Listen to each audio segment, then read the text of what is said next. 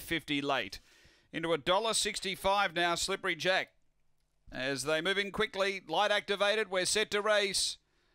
This is race 11 at Gawler. Racing, speed from the inside, So Foxy out quickly, headed off by Stitchem Dolly. Stitchem Dolly gets clear of So Foxy. Slippery Jack finds the rail and chases out after the leader quickly. Then Destiny Cherokee, Catch You Later and Singing Hawk. Up to the turn, Stitchem Dolly led. Slippery Jack comes around it. Then came So Foxy on the turn. Stitchem Dolly still clear of Slippery Jack and Stitchem Dolly all the way. Slippery Jack second, third Catch You Later, fourth.